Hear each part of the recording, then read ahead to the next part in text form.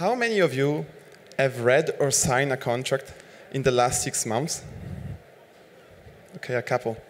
How many of you have actually understood everything they were reading? Way less. No worries, I'm one of you. I'm Hans Paul, CEO and co-founder at Speed Legal. Speed Legal is a SaaS platform that helps anyone, and specifically busy professionals, to understand contract risks and contract terms in a few seconds instead of hours. At Speed Legal, we believe that understanding contra contracts should be as easy as reading the nutrition label on the back of our food. Business users and legal teams using Speed Legal save 75% of their time and they're boosting deal closure 3x. So how does it work? It's pretty easy.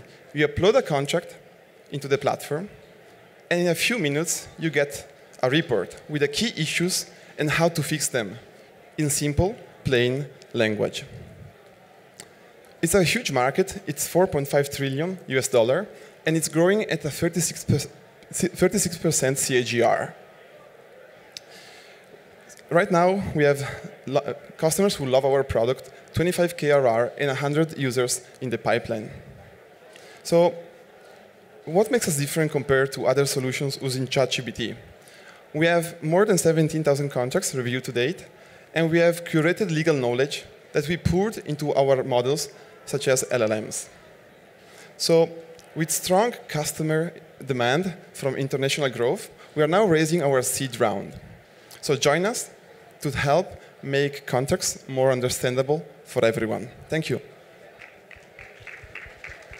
Yeah. Um, so did you, you said you're using your own LLMs or trained in-house? Correct. So uh, for the sake of velocity, at the beginning we were using GPT-4, but now we are fine-tuning a couple of open source LLMs.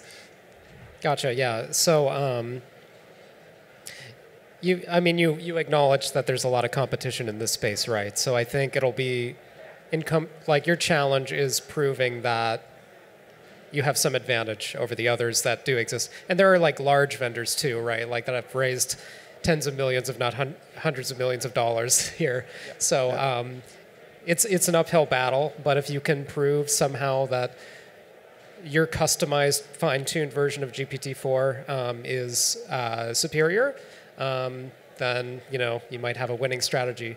Although I am wondering, um, so GPT-4, not to get pedantic, but um, I don't think you can't fine tune it yet, right? Yeah, not exactly. You're right. That's why we are testing a, a couple of other models uh, that are open source. Right.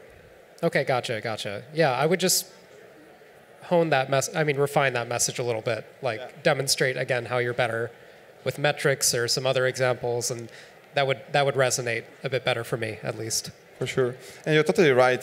Um, it's about accuracy, but it's, it's also about staying very close to your customers and understanding exactly what they want. So the beautiful design and UI to deliver the service in a few seconds, that's what they want. Right, makes sense. Thanks. Thank you. Thanks.